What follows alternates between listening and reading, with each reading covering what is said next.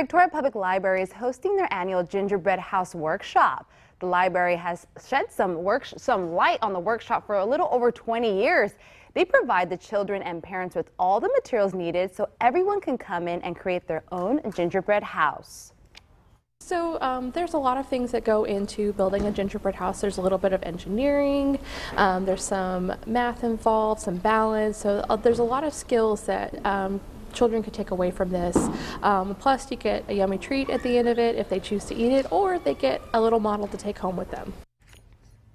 The Gingerbread House Workshop will occur at the Victoria Community Center on Tuesday, December 3rd and Thursday, December 5th from 3 p.m. until 7 p.m.